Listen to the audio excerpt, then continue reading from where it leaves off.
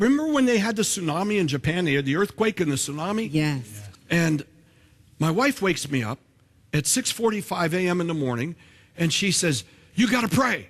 I said, "I pray all the time. Why are you waking me up?" She said, "Our daughter, Carissa, is on the island of Kauai over in Hawaii." I said, "What's she doing there?" Her husband took her there for their anniversary, and the tsunami's headed there, and they said it's going to hit the shores in 15 minutes. And she just called and she says, Tell dad I love him. They're taking us up in the rocks, and I don't know if I'm going to talk to you again. I said, What? I got up and I said, Which way's Hawaii? Now remember, my hair's tossed. I'm- my wife turns me and says, It's that way. I said, Are you sure? She goes, Yes. I said, If I be a man of God, the prophet of God, I command now that that tsunami stop, that it cannot touch that Kauai. That is my inheritance. That is my child. And as the prophet of God, I command you to stop now. Yes. I said, Get her on the phone.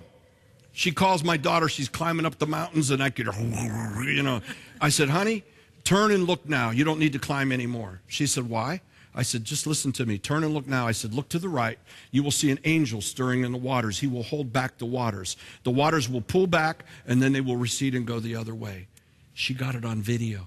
Mm. And the water stopped, and they went the other way. You want to hear the end of this one? Yes. You're going to laugh again. God laughs in heaven. Yes. So when I release the thing about Donald Trump, right? And I say he has a breaker anointing, don't you know that all of that those publications that love to bash you and me mm-hmm. and all of us that move out there, what do they say?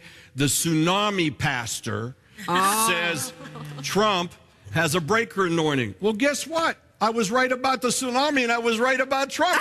to God be the glory.